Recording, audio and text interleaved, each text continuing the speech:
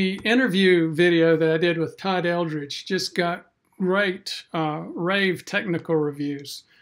But here's the problem it was too long, it was over an hour.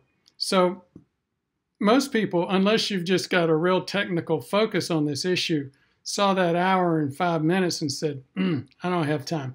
So, what I've done is I've broken up um, the video and taken excerpts out for specific subtopics. In the first one, we looked basically at CIMT basics and quality and variability.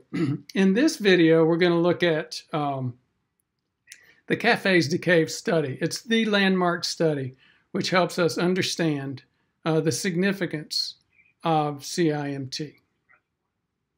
And it also gives us some significant uh, variation between CIMT and the normal carotid uh, ultrasound. The normal carotid ultrasound only shows a positive if you're like 70% blocked or a third to two thirds blocked. That's way too late. You're, you're, you've got an 80% probability at that point of having an event. We want to get you way back when you're at a 40% or less. And that's what a CIMT does. Uh, you have to know what you don't know, and you always have to be cautious when you're reading these studies to make sure you really understand what you're looking at. And I would tell you, uh, Dr. Brewer, we've talked about this before, but it doesn't matter if you're a medical doctor or or a patient. I see gross errors in the interpretation of this data. It's easily misunderstood. That also contributes to why it's not routinely used across the board. Having said that, I do want to show just if I could uh, one a couple of studies that because we're talking about reproducibility. I hope this is not taking us uh, too far off track. This is a study. This is perhaps the best study I've ever seen in any genre of medicine in terms of efficacy of of, of a methodology. Uh, Dr. Brewer, what they did here is they took uh, 10,000 patients and followed them for 10 years now that's a big study. It's a hundred thousand man year study. That's a big study. They don't come much larger than that. And they took a group of patients that had no risk factors. So if they were, if they had, if, if they had uh, high blood pressure, you're out of the study. You can't be in it. If you had high cholesterol, you're out of the study. If you had low HDL cholesterol, you're out of the study. Right? They so they deliberately chose a cohort or a group of people that had no risk factors and they were asymptomatic. And the reason that they did that is because they knew that they were going to have these people sign waivers to say we're not going to we're not going to receive treatment. I agree if I was in the study, I had to agree that I would not be treated for the 10 years of the study. Well, you don't want to have people who have disease agreeing to that for obvious reasons. But back in the 1990s, we really didn't know the efficacy of IMT, so we were just let's watch and see. The one uh, I'm not sure it was an error or it might have been deliberate. The one risk factor that they left in is they had about uh, 30% of these people that were smokers. And as mm. we know, smoking is a huge risk factor. Right. Huge red flag. So off they went and they started measuring these people. Well, 21% went on to have a heart attack or stroke. Oops. Uh, and as they went and looked at the data, IMT caught 98.6% of those heart attacks and strokes before they happen. Maybe you know, but I have never heard of another technology in any genre of uh, of medicine, Dr. Brewer, that has a better uh, catch rate than that. Home pregnancy tests, just for reference, in the first trimester catch 97%. You'd expect those to be pretty darn predictive, right? But 98.6%, I want your listeners to understand how significant that is. You will be hard pressed. I don't care if you're looking at cancer or any other medical condition. And by the way, I would ask you if you find one that is better than 98.6, please email me at todd at cardiorisk.us because I want to see it. Uh, this is unprecedented in medicine. It's really, really good. And, and this isn't to say that it's a perfect study. All studies have their weaknesses. This is not without exception, but that is really, really good data. Let me show you one other data point. This is the landmark atherosclerosis results in community study. This was the, the landmark study that showed the, co- the correlation between IMT and, uh, and cardiovascular or cerebrovascular risk. And then this, Could I make just a, a quick interruption? Yeah. So uh, I've I've covered uh, both of these studies in other videos, but oh, not the way you're covering them. Uh, I just want to remind my bed, uh, viewers that the first one that we looked at was Cafe de, uh, de Caves or Ca- CAFES CAVE. It's a very it's a landmark study in this area, and I'm really glad you covered it. This one's called ARIC. It also had a lot to do with um, um, diet and, and cardiovascular risk. Uh, go go ahead. Yeah. So so uh, what I just want the your listeners to see, and whether they're physicians or patients doesn't really matter. The standard of care in America is a cholesterol test, and it's problematic. And the reason it's problematic is not always understood. At the time that I stick a needle in your arm and and draw blood, what I'm really looking for is the concentration of a pathogen per unit of blood. So in this case, a deciliter of blood.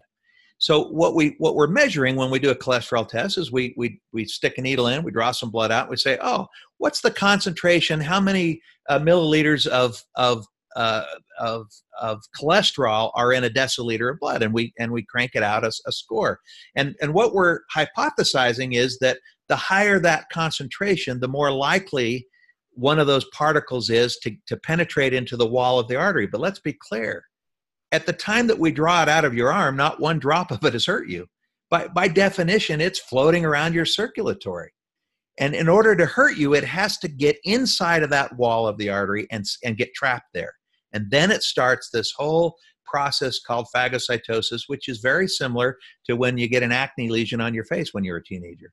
We'll, we can talk about that later. But so, so let, that's why there's so much difference. But the standard of care in America is a cholesterol test and it catches in another study we're not going to show here caught it catches about 18% of the women 25% of the men.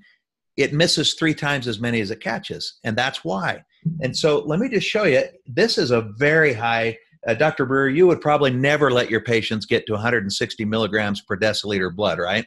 That's that's really high. We shoot for below 100 if you're diabetic below 130 i think are the current standards. So 160 i want to impress upon you is way too high Notwithstanding that, the hazard risk ratio, that's essentially how much risk, eh, eh, how much er, increased risk do you have by this condition? And what they're saying is if you have cholesterol level above 160 milligrams per deciliter, you are twice as likely to have an event in your lifetime. Now, that's not unimportant. We can't ignore that. We have to do cholesterol testing because it's still responsible for half of the disease. However, it doubles the risk, slightly less than that in men. If we look at, at the good cholesterol, quote unquote, I hate that makes me cringe to say that, but uh, but but HDL has been referred to as the good cholesterol. If you're below 35 milligrams per deciliter, and you're a woman, you have a, just over a threefold increase uh, in risk by having too low of cholesterol, or uh, in men, it's a little bit lower. Now, here's what I want you to see the IMT test women, if you exceeded one millimeter, which by the way is not that thick, I mean, it is thick, you have a 19 fold increase in risk. Do you see the difference? And, and to me, the difference is as simple as we're taking a picture of it and measuring it. There's no, there's no extrapolation. There's no uh, do you or don't you have it? Will this hurt you or not? Inflammation is the cause of this disease. Inflammation predicts risk of plaque. Plaque predicts risk of events. So loosely you could say then that risk that inflammation loosely correlates with uh, events, but if we had added plaque to this, we would see off the chart numbers. In the CAFES CAVE, we found that 40% uh, of those with even the smallest non hemodynamic plaques went on to have events in 10 years. So this is really good data if if it's conducted by a laboratory that knows what they're doing and that is has the coefficients the, the, the, quality metrics to maintain good coefficients of variability. So hopefully that that was a lot of verbiage, uh, Dr. Burr, but hopefully we brought the science together so they can see it in context, why it matters. And uh, actually, um, yes, I think you did a great job. Let me just ask you this, Todd. You know that image that uh, Brad and Amy used that shows the, um, on the CAFES CAVE group where it's 80% if you have occlusion of the uh, flow? Yes, that's if you've got that, four. If you don't have that, I probably do. Yeah, um, but feel free to. I, I, can stop sharing, and I, I, think I do have the slide. Let me uh, give me just a second, and, and I've got it right here. Well, while you're looking for it, I will I will help describe what makes the point behind that. So again, we're talking about um, a deeper, more effective way of screening for heart attack and stroke risk. And we're talking about a simple ultrasound of the carotid artery here, no radiation. And Todd, you and I can get into that one a little bit uh, later if we get some time on this video. Maybe we'll have to do another one. But people say, and docs will say, well, uh, already have, I mean, we have ultrasound of the carotid artery. We, do, we used to do that all the time. And if it's positive, you do surgery. If it's uh, not, then you don't. Well, that's uh, that's not right. They're not talking about CIMT, which is showing a much more um, subtle. It's showing whether plaque is there or not. Now, if somebody has a, a positive that obstructs the flow, they're going to have an 80% probability of having an event if they're not treated over the next 10 years. That's true. And I actually, now that you said that, I'm, I'm showing the wrong slide. well, actually, okay. this this but this slide's fine. not unimportant. Uh, you know what we're seeing here. This is not the slide you were thinking about. I, I now realize what you're looking for. But the problem with the the standard, uh, it's called a duplex exam. It's a carotid ultrasound that I would say the vast majority of the medical community is using. Is and I'm going to use my hand again. What yeah. it's looking for is the amount of blood flow through the hole. Yeah. We talked about the the the water and think about a brook or a stream if you have a great big rock in it, that water starts, it goes much faster over the rock. It escalates, it changes the velocity because the hemodynamics of the flow of the water are changed by the rock in the stream. Same thing in the arteries.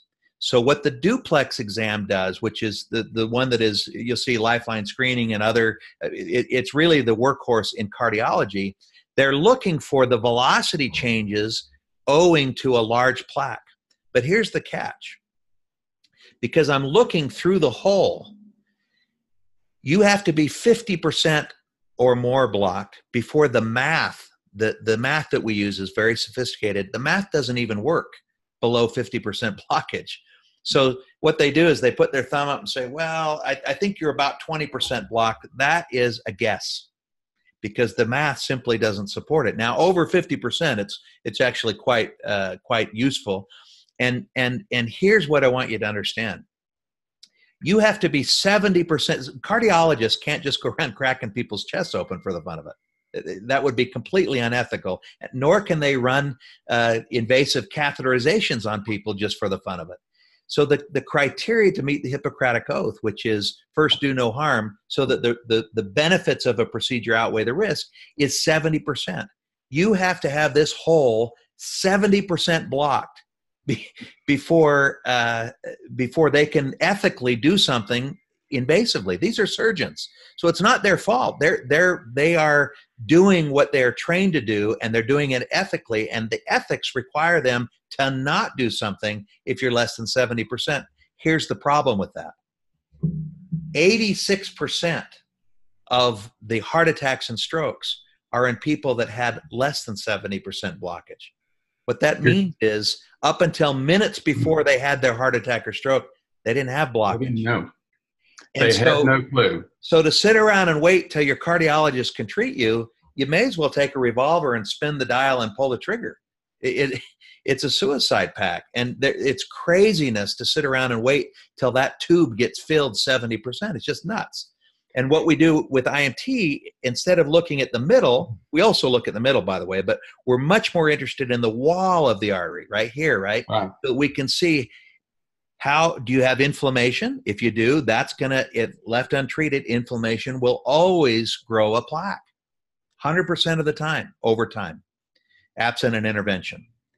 And plaque, left untreated, in a very high percentage of the time, plaque is responsible for the atherosclerosis caused events. It's the ruptured plaque and the subsequent chain of events that happen from a ruptured after a ruptured plaque that cause the heart attack or stroke. So we don't have to wait around to be 70% closed for heaven's sakes. Uh, Absolutely. yeah, you took a you took a major chunk uh, into what I was where I was going. I appreciate that. Yeah, I, I, know the slide you want. I don't think it's in this slide deck. That's okay. I'll just see if I can cover it verbally. So, uh, people would say, "Well, we did a we did a carotid ultrasound. We looked to see whether there was a a obstruction or not, and whether we need to do surgery." That's not what we're talking about. Again, we're talking about a more subtle look, and and Todd just gave us a technical explanation. What you find, and what you what they showed with the CAFES CAVE study was people that had significant plaque had a 40% risk, over 40% risk of having an event within 10 years. So, again, major risk that we can pick up and warn our patients of. And guess who's a poster boy for that? I was one of those folks with very few risk factors back when I was age 57. I decided to get one of these. And if you just look at uh, arterial age alone, I had 72 year old arteries. Uh, I do prevention for a living. I was one of those docs that you refer to in your book that treats risk factors rather than treating disease.